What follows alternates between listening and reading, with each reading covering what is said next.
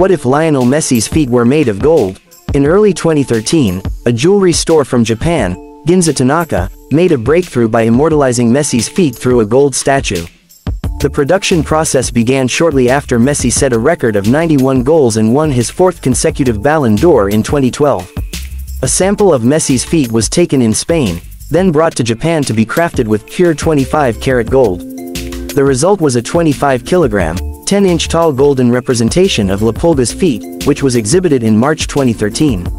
It's no wonder that the selling price of this gold statue reached $5,250,000, given the intricate details of the toes and the lines of Messi's feet. Another golden artifact that was also sold was a foot imprint plate of Messi, priced at around $94,500. ESPN reported that a portion of the sales proceeds was donated to children affected by the earthquake and tsunami in Japan through the Lionel Messi Foundation.